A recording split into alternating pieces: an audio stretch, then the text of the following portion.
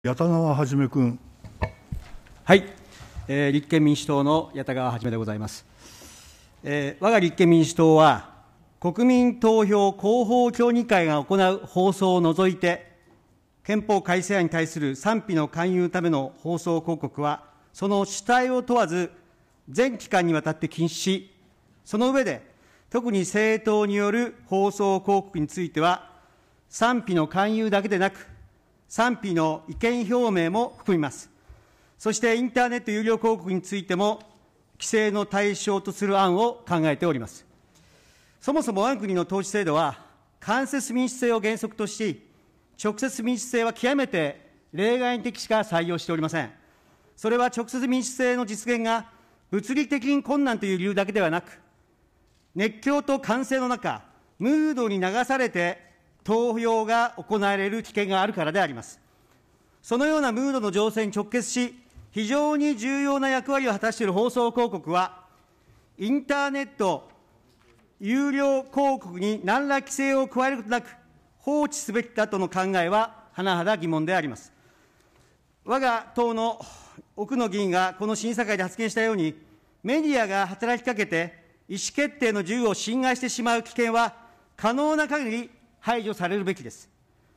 諸外国の例を見ても、イギリスでは2003年通信法において、政治的宣伝が一般的に禁止されており、当然、民間商業放送においては、投票運動としての広告放送が禁止されると解されています。フランスでは1986年の情報伝達の自由に関する法律において、政治的性格を有する広告放送を流すことが全面的に禁止されているため、国民投票に関する広告放送をテレビ、ラジオで流すことも当然に禁止されるほか、カナダ、スイス、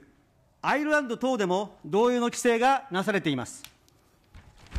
一方、我が国では政党には国民投票広報協議会が行う放送において、意見広告の枠を公平に配分されることとなっています。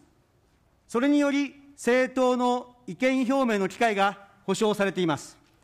先日、民放連の永田参考人が、政党広告を全面禁止してしまうと、ネット上でフェイクなものが紛れ込んだときに、どれが神聖な CM かというのが分からなくなってしまうという懸念を表明されましたが、国民投票広報協議会が行う放送で、それが解消できると考えます。さらに我が党は、国民投票運動等に関する支出金額が1000万円を超える団体には、収支報告を義務付けるとともに、5億円の支出限度額を設けて、また、運動資金が特定のものや外国人に依存することを防ぐために、1人当たり寄付の上限額の設定、外国人寄付の受領禁止など、寄付規制を定める案を考えております。これは資金の高によって、国民投票の結果が左右されることがあってはならないからであります。およそ人権とは、人間が人間であるという、ただそれだけで認められるものであり、人間としての価値は、年齢、性別、社会的身分と、ましてや資金力、経済力により差別されるものではありません。憲法改正が資金量の、失礼、憲法改正が資金量や外国人の影響といった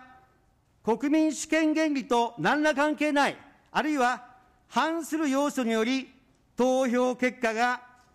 歪められるならば、これは国家100年の悔いが残ることになるでしょ